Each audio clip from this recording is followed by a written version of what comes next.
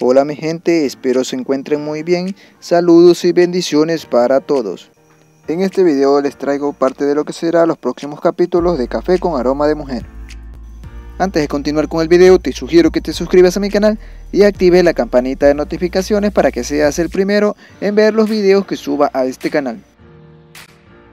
Para los próximos capítulos de Café con Aroma de Mujer, por un lado Gaviota se quedará más tiempo en Nueva York por otro lado, Sebastián no le creerá a Lucía su cuento de que hicieron el amor juntos.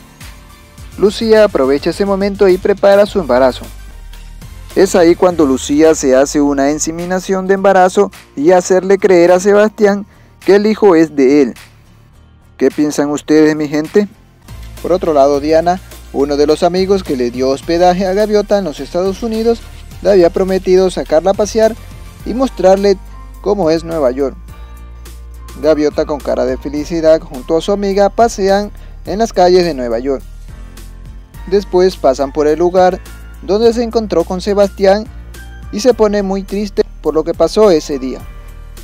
Gaviota le dice a su amiga Diana que ya no se quiere imaginar todo lo que pasó en ese momento cuando Sebastián la humilló. Después en los siguientes días que Gaviota pasea por las calles de Nueva York, se encuentra a Sebastián. Sebastián sale a pasear para despejar su mente y de pronto se ve a una persona parecida a Gaviota. Sebastián le grita Gaviota, ¡ey!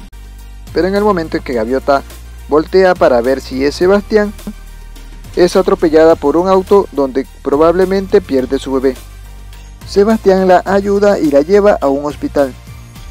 Y es en esos momentos que Sebastián se entera que iba a ser papá. ¿Será que Gaviota pierde a su bebé por esconderse de la persona a quien ella ama? Bueno mi gente, esto ha sido todo el video. Espero les haya gustado. Si les gustó dejen su like, compartan.